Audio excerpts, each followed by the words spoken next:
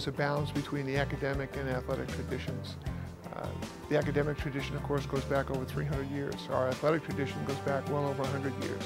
Uh, our goals remain the same between academics and athletics, to find the balance between both and to excel at both. The unique opportunity that uh, results from a William Mary education uh, allows people who have strong academic backgrounds, with strong athletic backgrounds to succeed not only while they're here, but long after they're here.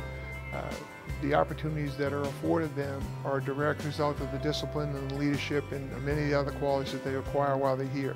As an athletic department, our staff and coaches are committed to the success of our student athletes. With 23 sports and over 500 student athletes, the opportunity for success and the opportunity to assist these people in achieving success are many. We function all under the same goals and, and objectives. We like to think of ourselves as one tribe. The success of William and Mary Athletics is based on the commitment of the coaches and, and the administrators to providing the, the, finest academic and athletic experience they can for our student athletes. Uh, that goes each one of our departments, whether it's strength and conditioning, sports medicine, sports information.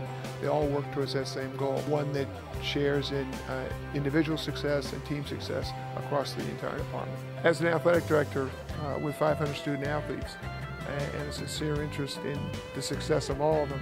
That feeling of success, the feeling of the team coming together, the feeling of achievement that comes when you, all the training, all the sacrifices you've made have brought you to success. That's what we're trying to instill in you, not only for now, but for the rest of your life. And when you feel that, you felt it once, you want to feel it again.